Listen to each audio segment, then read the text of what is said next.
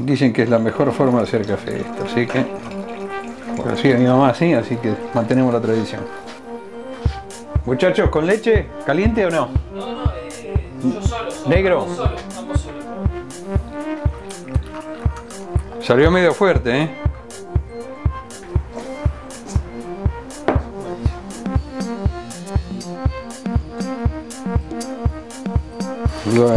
La edición original. Y esta es la original del cuarto tomo que sale en Alemania. Mira, pues acá. 26 del 7 del 72, primera edición, 6.000 ejemplares. Falta página de foto. Tomo para revisar. Y ahí están todas las observaciones de Osvaldo. Cafecito. ¿eh? Que es la corrección que él hace a la primera edición, que va corrigiendo. ¿no?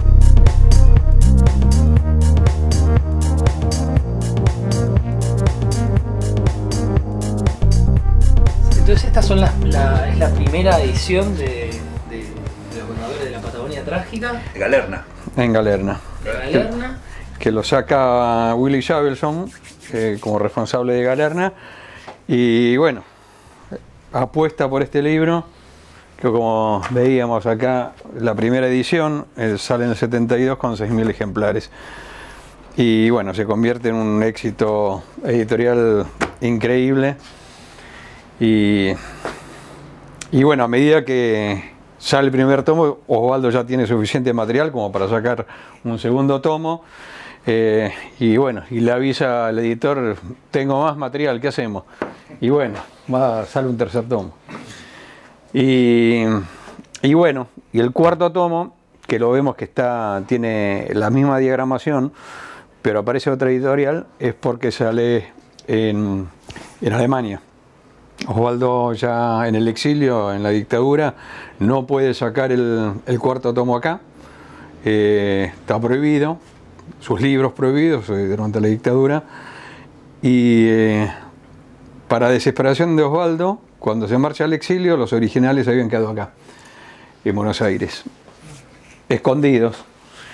Este, y él temía que la obra iba a quedar inconclusa y que iba a suceder algo con lo mismo que a, a Borrero, o sea, el primer escritor que escribió sobre la Patagonia, que sacó un primer tomo, anunció un segundo y el segundo, 28, 29, ¿no?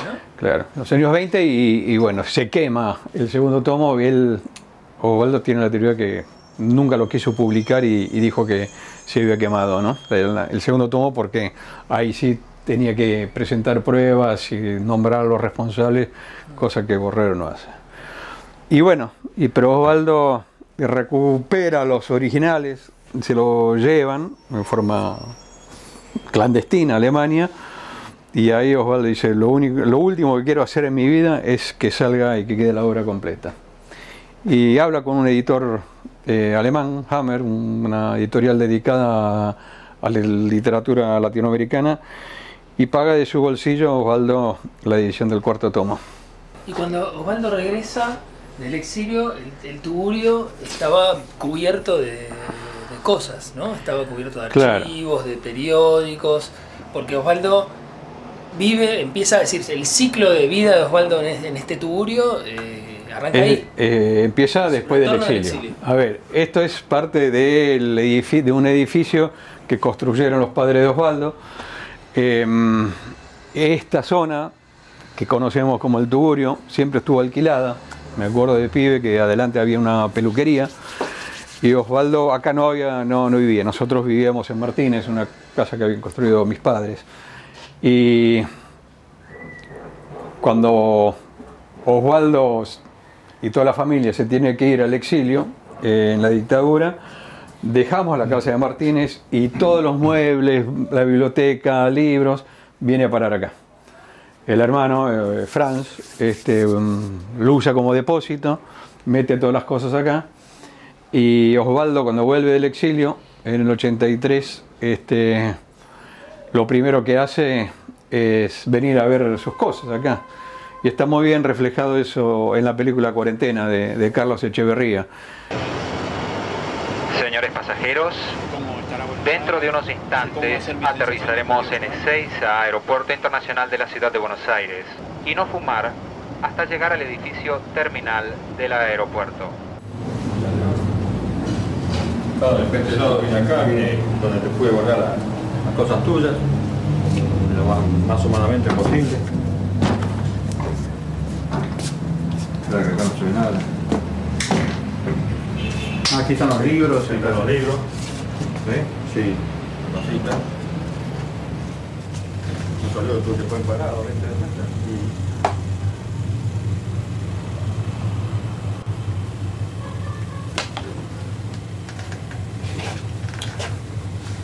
La mesa quedó. La mesa de comedor. La mesa del comedor está acá, parada.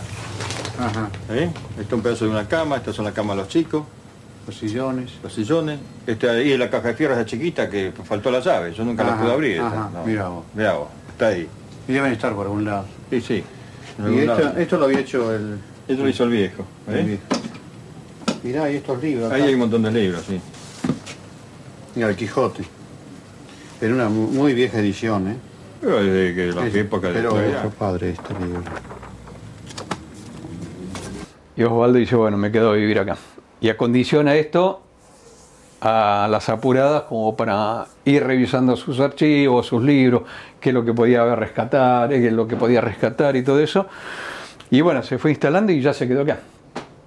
Es, un, es como el tugurio, como una especie de, de refugio, de búnker, ¿no? De este espacio de referencia afectivo, político, cultural, ¿no? Porque desde aquel momento en el 83 que Osvaldo despeja el espacio como para transformar ese depósito en, un espacio vital, hasta ahora, donde vos, digamos, venís, solés venir periódicamente y donde todavía te encontrás con gente que viene de visita.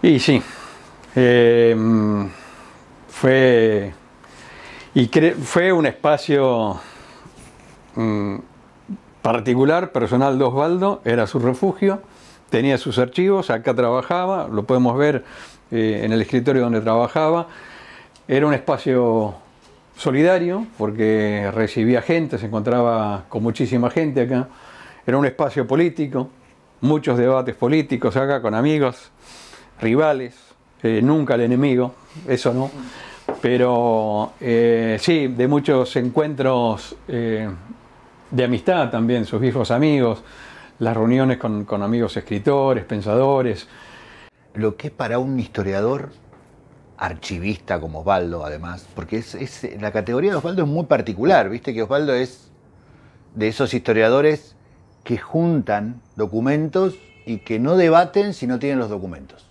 No, no, no, no era un ensayista, no, no era un opinólogo.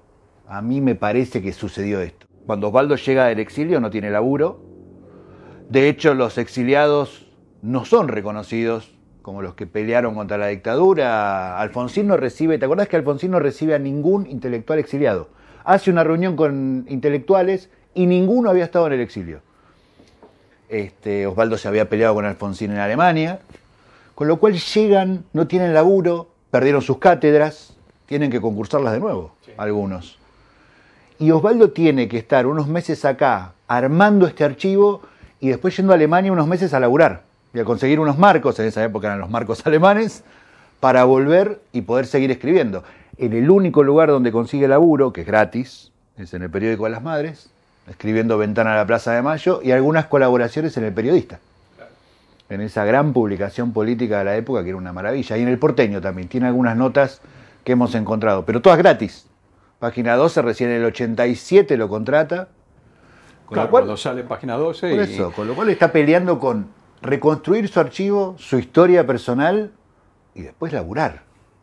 Fue una etapa dura por Osvaldo porque justamente por lo que contás, ¿no? Eh, sin trabajo y en la película Cuarentena, que marca ese regreso de Osvaldo, se ve como él va a visitar las redacciones de los diarios donde él había trabajado, pasa por Clarín, este, y no le dan importancia a él, no le dan trabajo, no, no, no, y se la tiene que rebuscar. Y por eso que empiezan sus viajes a Alemania. Él no puede romper con Alemania por un tema familiar, porque nosotros estamos todos allá. Pero además, se tenía que ganar el pan. Y tenía que ser un trabajo que a él odiaba, tenía que ser traducciones, del alemán al español, de series de televisión, de policiales, eh, de, de temas que no le importaban para nada.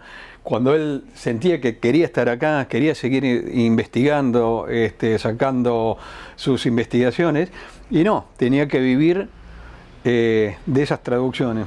Eh, después él siempre con mucho orgullo dijo, yo a mí nunca me dieron ninguna beca, ninguna fundación me contrató, jamás. Eso, es otro detalle ese también muy importante, ¿no? Digo, es un investigador, un historiador investigador de fuste, que hace su investigación por su cuenta.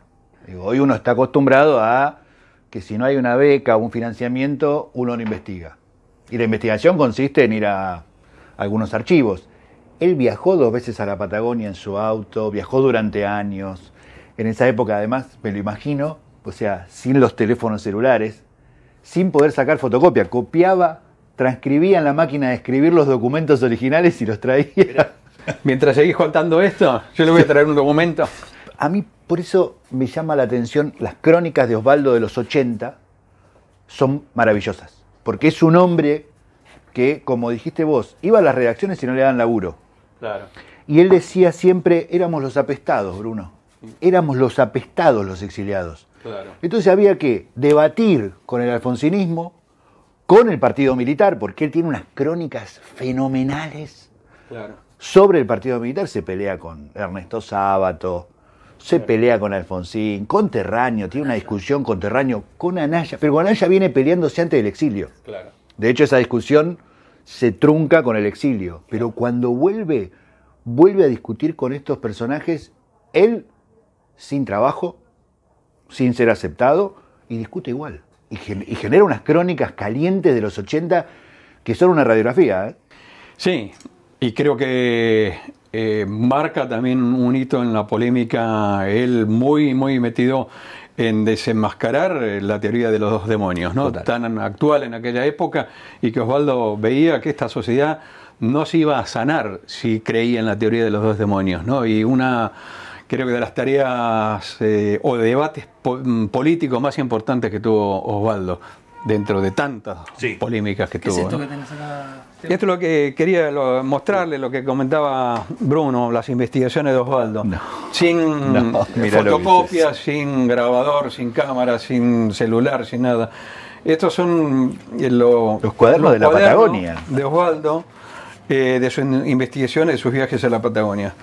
Todo a mano. Este, Perdón, acá vemos que Rivadavia mira eh, absorto, ¿no? Este, todo está acá escrito a mano, con fechas, con dónde las fuentes, dónde lo encontró. Este, y la verdad que es impresionante verlo ahora. Yo de vez en cuando agarro uno esta, estas agendas, estos libros, me pongo a leer, porque uno en- encuentra un montón de cosas que todavía no, o, o que no, Osvaldo no los publicó porque no, no, o sea, cuenta la historia. Ministerio del Interior 1922. Claro, esos son todos datos que él recoge en el Ministerio del Interior, con número de y todo eso. Por eso que, como decías, este, él anotaba todo, eh, tenía fuentes para todo, eh, y él volvía de sus viajes, hizo muchos viajes no solo a la Patagonia, sino también a la provincia de Buenos Aires, donde vivían los soldados conscriptos que, que estuvieron en la represión de la Patagonia. Y tuvo la oportunidad de hablar con muchísimos soldados. Este, y cada vez que volvía, mi vieja, Marlis, eh, se desesperaba. Porque decía, otra vez con más libretas, y otra vez te vas a poner a escribir. Y tenía un, un cuarto donde él trabajaba, y ahí nosotros empezamos a escuchar. Las desgrabaciones, él tenía un grabador chiquito, un geloso, eh, escuchábamos la- cómo desgrababa las entrevistas. Y después escuchábamos la máquina de escribir. No lo podíamos molestar, era sagrado, porque tenía poco tiempo para escribir. Tenía dos empleos él en aquel entonces. Claro, escribían dos diarios. Y, y él se las arreglaba como para investigar en las vacaciones. Nunca tuvimos vacaciones con Osvaldo, un solo viaje hicimos de, de vacaciones con, con el viejo. Este, sino él aprovechaba las vacaciones para, para investigar. Cuando, cuando falleció tu papá, esta mesa con este teléfono fue a la plaza. junto con las cenizas de él. No podía no estar. O sea, se montó esto en la plaza y ahí hicimos el homenaje todo el día con ese sillón. Porque la imagen de Osvaldo, esto que rescatás vos, Ariel, y este, Osvaldo se enojaría si digo esto, es muy borgiano los últimos años de Osvaldo. Sea que Borges le pasó lo mismo, muy viejito, siempre al lado del teléfono y abriendo siempre la puerta. Y Osvaldo, los últimos años fueron muy a lo Borges. Él estaba acá sentado, él quería atender el teléfono. No podía ser otra persona. No, no, no, no, salvo que estuviera lejos, Bruno, atendé. Y, pero decime quién es, ¿eh? Y anotá todo. Y si no, era... Y él atendiendo, él atendiendo, es- abriendo esa puerta por ese pasillito, hay unas imágenes increíbles de él yendo y viniendo. Pibes de la escuela primaria que le querían hacer una nota, políticos, escritores. Un día paró, me acuerdo acá en la puerta, Hernán Díaz, jugador de, de River. Yo estaba en la puerta, justo por entrar, y me dice: ¿Puedo ver al maestro? ¿Sabés quién soy? Digo, por supuesto que sé quién sos. Eh, y entró y lo saludó, no lo podía creer, estaba re emocionado. Eh, y es este lugar, ¿eh? Y él siempre atendiendo. Una vez vos en un homenaje a tu padre dijiste, no era diputado, no era senador y viajó por todo el país más que cualquiera. Fue a lugares donde no había espacio para hacer una conferencia. En el Chatem dio la conferencia en la terminal de ómnibus. La cerraron dos horas para que él charla. No había un lugar para que todo el mundo pueda escucharlo. Y estaba acá. Ese, pienso además, estaba viendo un poco, repasando las imágenes. Es una, es una casa donde vos tenés mezcladas las imágenes familiares, ¿no? con, el, con, con el viejo hermano fallecido, con el padre, con, eh, con, la, herma- eh, con la hija, con... pero son escasas esas imágenes en comparación a, bueno, todo lo que fue depositado acá por una multitud, ¿no? Sí. Esta casa es una casa que está habitada por una multitud. No, Bruno, pues recién le estabas contando eh, que el primer libro de él, El Severino, él también nació de, de esa investigación que le pide Félix Luna para, para toda esa historia. Eh, y Osvaldo tuvo ese, e- e- ese don, e- esa gran intuición de historiador, es decir, acá hay una historia detrás, acá hay algo por descubrir. Yo no me creo la, la versión oficial. Eh, y desconfía de la versión oficial y empieza a investigar. ¿Y cómo investiga? Hablando con testigos. Eh, como bien decías, eh, no era cuestión de ir a un archivo o releer eh, en algún lado algo que ya estaba escrito. No, él quería recoger testimonios de primera fuente. Y es por eso que se encuentra con testigos, con sobrevivientes de, gente que estuvo, con, que lo había conocido Severino y a todo su grupo, a, a los hermanos Escarfó y todo eso. Y, y bueno, Osvaldo guardaba todo de sus investigaciones y bueno, así lo vemos en este estado, ¿no? También acá, este, problemas a buscar. Un cuadernito donde pone, eh, sí, eh, todas las cosas, ¿no? Todo, la bomba. Se abrió una bomba y bueno, todo es como una flor, una mujer fecundada y bueno. Y empieza a recoger eh, las fotos también, las fotos originales de, de Severino, Foto de prontuario. de prontuario, que es la que va a utilizar Osvaldo para eh, la tapa del libro. Este, y, y Osvaldo queda fascinado por esta, este personaje eh, como militante político, que no era delincuente, que el tipo se jugó la vida y perdió la vida este, por un ideal equivocado, no, porque esas son las cosas más curiosas de Osvaldo. Paulino, ¿no? Paulino Escarfó, claro. El, hermano de América. Y él guardaba todo, todo guardaba, ¿no? Y, y bueno, cartas originales. Lo curioso, lo que quería contar, que Osvaldo, en casi todas sus obras, él que era un pacifista, ultranza, eh, contrario a todo signo de violencia, todos sus libros tienen que ver con violencia, con violencia política. Él no reniega de la- de la- del uso de la violencia, por ejemplo, para matar al- el derecho a matar al tirano. Y Álvaro, vos sale a decirle que no, que está mal, que es un momento de paz, con peligro de golpe a, a la vuelta de la esquina. Esa década del 80 es caliente, es la postdictadura. Los exiliados están apestados y Osvaldo está acá como cuartel de, de generación de ideas, pero tiene que irse.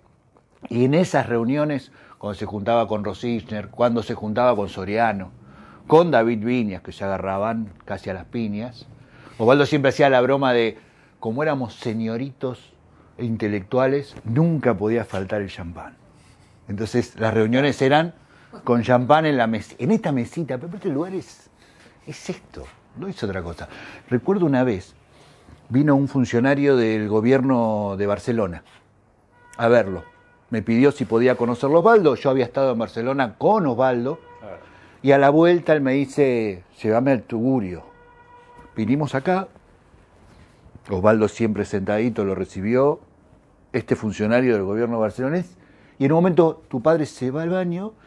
Y este funcionario me dice, pero no vive acá, ¿no? Acá no puede vivir. Él está, vive en otra casa. Y yo le señalo y le digo, ahí está la cama. Este, esta era la habitación de Osvaldo. Es el último lugar donde vos no viste Osvaldo. Sí. ¿No? Decir, El 24 de diciembre. Bruno llegó acá el 24 de diciembre de 2018. Fue a la, a la, a la mesita que, que vimos antes. Estaba el whisky en la mesita. La última imagen es el whisky en la mesita. Y Osvaldo recostado. Bueno, este. Y, y Bruno estuvo acá eh, como, como parte de un día más, ¿no? Sí, Como parte de lo, de lo que era también una relación sí, también, bastante frecuente. y también cuidado, además. sí, de cuidado porque estábamos todo el tiempo y y hablando con él por teléfono todos los días, a cada, cada una hora, porque cada situación de salud de Osvaldo acá, siempre nos agarraba acá, pero de sorpresa para ellos, entonces era comunicarse. Y ese día, bueno, charlamos, no sé cuántos llamados cruzamos para poder resolver de la mejor manera posible este, la partida de Osvaldo, que ¿Y sea esto, tranquila. esto para sorpresa de funcionarios barceloneses, como decía Bruno, o, o para sorpresa de visitantes? Osvaldo sí vivía acá y no solo vivía acá, sino que tenía como ensoñaciones muy particulares en su, La su cama. habitación. Eh, ahí, eh, acá se sentaba, acá escribía su- sus, sus libros, sus contratapas, eh, sus artículos. Este, y, y bueno, como ven, libros, libros por todos lados. Y un día, y estas paredes son viejísimas. eh, y un día vengo y le digo, pero viejo, esto es un peligro, ya no podés poner más libros acá porque se te van a venir abajo las estanterías, todos los libros. eh, y una noche vas a quedar sepultado por... Se te va a venir abajo esto, vas a quedar sepultado por, por los libros. Y la respuesta de él, como siempre, con mucho honor, qué linda muerte para un escritor, qué romántico. Era lo que deseaba él, ¿no? Este, y lo que a mí siempre me impresiona es que él sabía en dónde estaba cada libro. Eh, no le podíamos tocar nada porque él entendía su orden, ¿no? Y era muy curioso lo que decías hace un rato, Bruno, eh, en las polémicas. Él siempre se basó en las fuentes, con documentaciones, que tenía todo guardado. Y cada vez que empezaba una polémica, o ahí mismo en las charlas acá que tenía, y le, querían contradecir, él venía con sus pasitos, agarraba el libro, una hoja, un documento, lo sacaba y dice, acá está la prueba. Y bueno, esta es parte de la biblioteca este, de libros y lo que... Ahora, esto es un mapa de lectura también de Osvaldo. ¿eh? Lo, lo más interesante del, del cuarto es el mapa de lectura de la cabeza de Osvaldo. Que eso se ve en una etapa, en, la habitación de adelante que está cargada de libros, están los libros más antiguos. Libros de 100 años, biblioteca de tu abuelo. Pero acá hay un mapa de lectura de lo que pensaba y leía Osvaldo. Y eso lo hace más interesante todavía porque lo que decías vos, eh, iba sacando sus archivos, archivo Roca, archivo, archivo de revistas. Hay un texto que se llama Pequeño recordatorio para un país sin memoria, que se lo lee a todos los intelectuales que no se exiliaron y que se exiliaron en Estados Unidos, en un congreso en Estados Unidos, porque acá no se podían juntar, porque se agarraban a trompadas literalmente, esto, es- esto es real. sí. Y acá tiene un archivo donde él va sacando, donde él guardó lo que dijo cada uno en dictadura. Tal cual. Y es- lo saca de acá, lo pone en ese artículo y se los lee en la cara. Se armó un escándalo en ese momento. Pero digo, es esta, este mapa de lectura de Osvaldo y es como su cabeza, ¿viste esto? Sí. su cabeza pensando y hablando. lo hace más interesante todavía, ¿eh? porque el lindo recorrer que leía. Eh, es lindo y lo que le regalaban, lo que él compraba, eh, mm, las colecciones que él tenía. Yo creo que, bueno, eh, él debe tener una de las colecciones de temas patagónicas únicas, este, mm, sobre libros de, de- de la Patagonia, por todos lados, del anarquismo. Ahí adentro, ahora no podemos abrir, pero están los libros, colecciones sobre la historia del anarquismo. Este, y que creo que es de, de- las bibliotecas sobre anarquismo más importantes que, que hay en el país. Fue de los mejores polemistas que tuvo la Argentina. Era imbatible. La discusión con Terráneo en los 80, en el exilio, esa es en el 79. Los dos exiliados, Osvaldo propone volver a la Argentina, Terráneo le dice, estás loco, pero la discusión tiene un nivel altísimo, se dan duro los dos. Algo que se perdió hoy en día, no ves estos polemistas, no hay un... Y ese mapa de la polémica está acá. Acá están los registros donde él nutría esas polémicas que eran imbatibles. ¿eh? Eran... Yo creo que no perdió ninguna polémica, pero a mí lo que me A fascinaba... lo sumo la empató. Sí. Pero no, en serio. Uno leía, él escribía algo, le contestaban, y vos leías un nivel altísimo la respuesta, decís, ahora le hicieron bolsa a Osvaldo, ¿cómo va a responder? No tiene armas. Y no. La respuesta, la contrarrespuesta mucho más contundente, y era lo fascinante de Osvaldo, ¿no?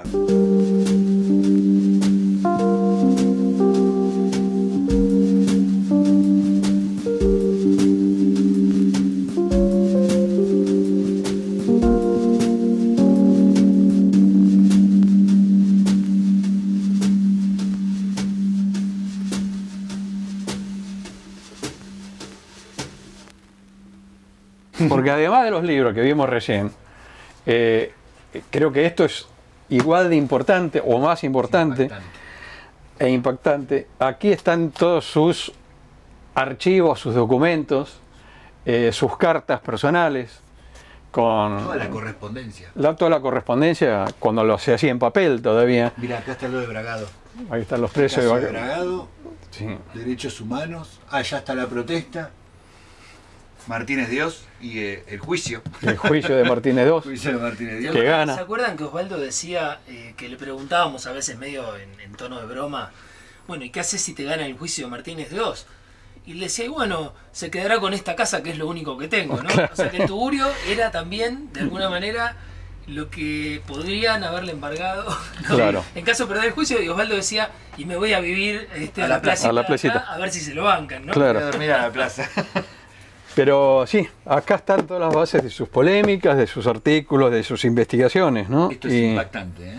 Cada papel, cada recorte, roca, em, historia argentina, González Tuñón, Helman, Cortázar, David Viñas, sus amigos, sus amigos. sus grandes amigos. ¿eh? Armenia, otro de los grandes temas que fascinaban a Osvaldo, denunciar el genocidio turco Muy contra... querido por la comunidad armenia en Argentina. Muy, muy querido este, por la comunidad armenia. Que dice el único, prácticamente el único intelectual que denunciaba el genocidio de los turcos. Exilio,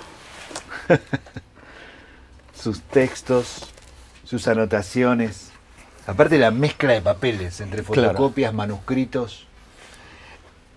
Y aparte de, de esto está Di Giovanni, anarquismo, mucho anarquismo. Muchísimo. Eh, y el- esto, esta otra pared, la contrapared, es lo que decías vos, resume un poco esos viajes que él hacía al interior y el reconocimiento que el interior eh, le daba a Osvaldo, Sí. con diplomas, con fotos, con placas, con de todo tipo. No, y es doctor honoris causa de muchas universidades. Claro.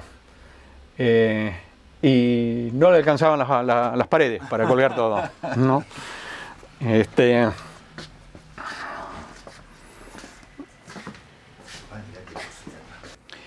y, y lo que vemos acá eh, es parte, digo, siempre digo, es una de las bibliotecas de Osvaldo.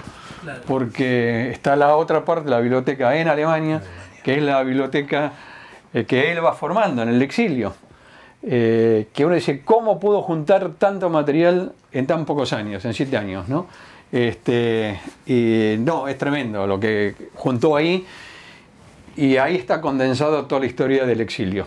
Lo que reúne, cada, cada objeto de esta casa re- reúne distintos actores y distintas historias, ¿no? Es decir, acá vos ves organismos de derechos humanos, ves mili- milita- distintos tipos de militancias, ves un sindicato, ¿no? Este, ves, bueno, una, una, una obra de Osvaldo estrenándose, es decir, Sí, este, la uno de los grandes temas de él. La política. eh, los pueblos originarios y el despojo de sus tierras y la terrible matanza de la llamada campaña al desierto, que es el tema de la película. Junta también a Rep, una caricatura de Rep, ahí, Pero- que la vemos acá también en el afiche de la película, eh, hecho por, por Rep, que le pega justito, Osvaldo dándole agua a una plantita dentro de la selva. Los libros en alemán, sobre todo, que es parte también de la biblioteca de, de su esposa, de nuestra Claro. madre, de Marlis, eh, que era- se crió en un ambiente de la colonia alemana acá en, en- Claro. en Buenos Aires. Este, y bueno, es parte de la biblioteca en los Sí. libros en alemán. Y mucha gente me pregunta, bueno, esto es un archivo, este, le- y les digo, sí, es un archivo, pero no es un archivo que, se, que quedó estancado y que desde la partida de Osvaldo no se utiliza más. Este archivo se sigue utilizando. Eh, y un ejemplo, eh, ¿Qué encontraste? no, son actas que él juntó, eh, causas judiciales de los años 20, y esta precisamente resume, como ves acá, Fon, eh, el expediente de Facón Grande, Faco Grande, José Font. de José Fon, el entrerriano Facón Grande, este, que son documentos que Osvaldo utilizó para su libro, pero que a nosotros nos sirven muchísimo, porque estamos eh, exigiendo en la campaña también, de, después de haber Osvaldo haber recuperado la verdad de lo que había pasado en la Patagonia, eh, con sus libros y sus investigaciones, que se supo al fin qué es lo que pasó. Después vino el ejercicio de la memoria a través de las llamadas mesas de huelga que hoy trabajan en toda la provincia de Santa Cruz eh, en pos de la memoria, eh, inaugurando calles, eh, museos, este, y se siguen investigando. Eh, y ese ejercicio de la memoria es, es muy activo. Osvaldo, en el cuarto tomo, en el epílogo, dice, él lamenta que en la Patagonia no, no haya ninguna calle, no se lo recuerde a ninguno de los líderes obreros, de los fusilados, eh, no haya ni siquiera una cruz en las tumbas masivas. Y, y ahí Osvaldo se corre- tuvo que corregir con mucha satisfacción, tuvo que corregir porque hoy sí, en todas las ciudades, localidades, pueblos de Santa Cruz ha- hay una referencia histórica de, de memoria, del ejercicio de la memoria de los fusilados. Y falta la justicia. Y eso es lo que estamos buscando. Cien años después eh, seguimos buscando justicia y exigimos que los responsables directos de esa masacre, las instituciones, por supuesto, porque las personas que, que mataron, que fusilaron, los estancieros que marcaron a quienes debían morir, están muertos. Pero las instituciones no están muertas y son las responsables. El Estado Nacional, a través de su presidente, que manda a las tropas, el Ejército Nacional que reprime y fusila, sin ninguna ley que la ampare, eso oficialmente la pena de muerte había sido abolida, eh, la sociedad rural, cuyos estancieros, sus miembros directivos señalaban, como digo, fueron los que llamaron al, al ejército y le pidieron al gobierno que mandara al ejército. Todos organismos, ¿por qué el Poder Judicial en su momento nu- nunca investigó? ¿Por qué el Congreso Nacional nunca aceptó un debate sobre esto? Y es lo que ahora los documentos que rejuntó Osvaldo nos sirven para presentar ante la justicia hoy eh, y ver que se declaren esa fus- esos fusilamientos como delitos de, De lesa humanidad. de lesa humanidad. Claro, que no prescribieron. Por eso que es un archivo activo. Y el ejército tiene registro de la matanza del 2021. La tiene. La tiene. Porque el Estado registra todo y los milicos registran todo. Todo. Así que la tiene. Declararlo de lesa humanidad a partir de estos documentos implicaría Y la presión para que los abran. estamos en eso y en una de esas próximamente haya sorpresas. Sorpresas como la que uno encuentra acá. Eh, porque uno abre esto y te encontrás con, Wilkens. claro, fotos originales Fotos Patagonia. Severino, Fotos, anarquistas. te encontrás con cajas eh, y bueno, y uno saca una caja y empieza a revolver y ver fotos históricas, documentación, es como un tesoro. A los que nos gusta revisar papeles, sí. Es, es un, eh, es un híbrido este lugar, ¿eh? porque por un lado, como decías vos, es un archivo. Es un archivo vivo porque ahora les permite a ustedes volver a reconstruir ese pedido de justicia gracias a estos documentos. Claro. Y a la vez es un espacio eh, de memoria viva por todos estos recuerdos. claro. Todos saben. Si vos te pones ahora con las redes sociales a preguntar quién estuvo en el Tugurio y tiene foto del Tugurio, te aparecen millones. Millones. Es decir, que acá no es un archivo común y corriente, no es el archivo solo de, de los que somos investigadores, no, no, es de todo el mundo. Acá vino todo el mundo a verlo, a mirarlo, a estar con él. Yo recuerdo una vez que se cortó la luz, veníamos de una charla y tu padre estaba sentado acá con una vela atrás y éramos cinco escuchando sus historias. Y él, hasta que no se apagó la vela, no terminó de contar, no tenía agua, no tenía luz, pero yo me, yo me quedo acá, en mi lugar. Y nos contó una historia hasta el final, y todos acá bebiendo con él, y él con la velita de fondo. Increíble. Increíble. Como decía, dejando cosas, ¿no? Sí, Reconocimientos, Todo- fotos. todo- todos estos reconocimientos además dan cuenta, este, este es en un, perdón, de una inauguración de un monumento a Rodolfo Walsh en Concepción del Uruguay. claro. Ciudad Acá- muy querida por Osvaldo, que fue un montón de veces. La primera ciudad que después de la partida de Osvaldo puso un busto en honor a Osvaldo al lado del recuerdo a Rodolfo Walsh, que Osvaldo tuvo la suerte de, de inaugurar. Increíble. Las placas siempre tienen como un aire de importancia, ¿no? Brillos. Y después cuando, cuando te acercás, es, este, es muy común encontrar que las placas y los reconocimientos son de lugares no muy pequeños, este, dispersos a lo largo y a lo ancho del país, lo cual habla también de la militancia de Osvaldo. Cuando hablamos de memoria, cuando hablamos de...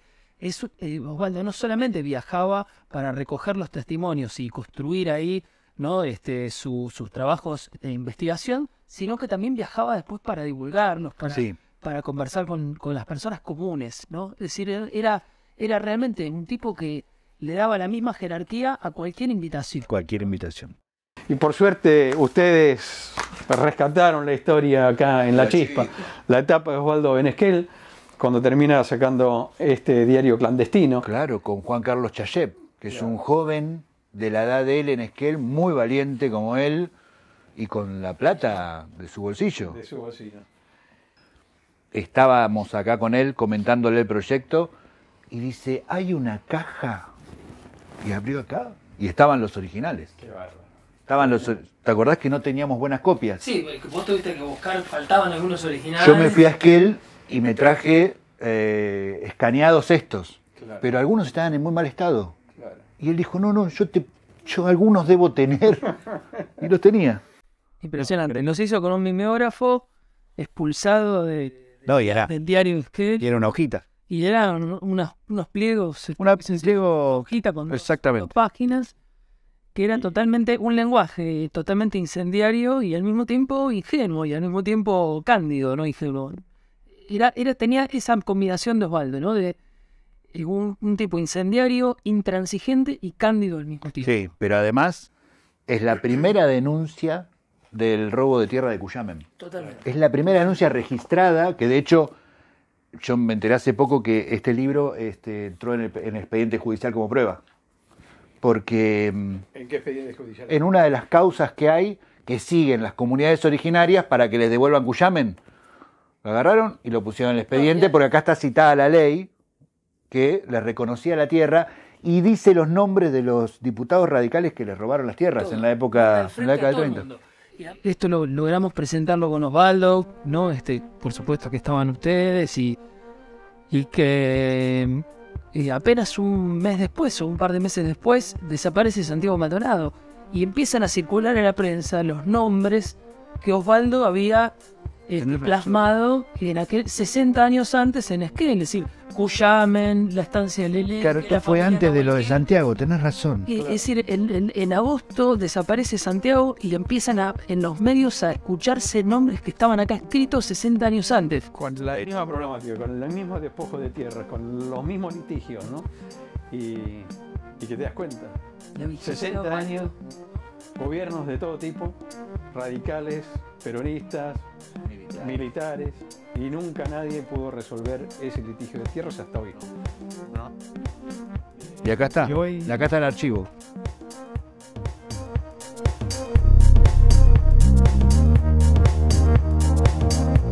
Es un gran regalo para vos. Así que aquí está, volvió a circular la chispa. Salud. Otra no. Ahí está. Chispa. Salud.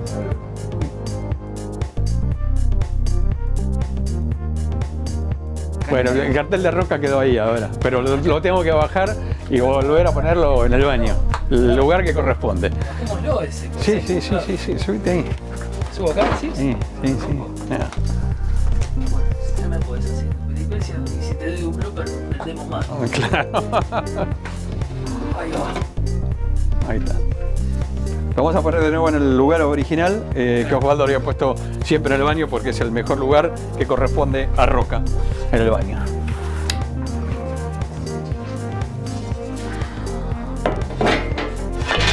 Ahí está, ahí lo tenía siempre.